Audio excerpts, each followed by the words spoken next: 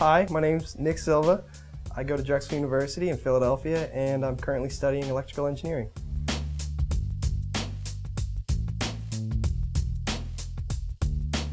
I found myself working a lot on my car and uh, doing a lot of car stereo stuff. And um, it wasn't until I actually was filling out the application I said, you know what, I really like doing that. And that's a, that's a part of physics. I like physics a lot and uh, I'm going to decide to be an electrical engineer.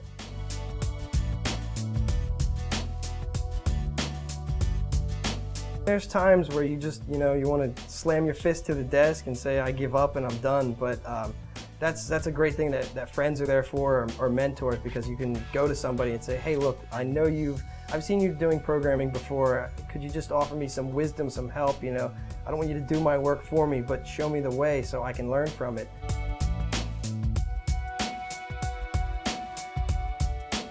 I like to come back, relax, watch some sports sometimes. Um, play little video games. You know, I, I really like to cook and I love to eat even more. I am a huge fan of buffalo chicken. Buffalo anything, if it's got some wing sauce on it, some blue cheese, a little celery on the side, that's what it's about right there.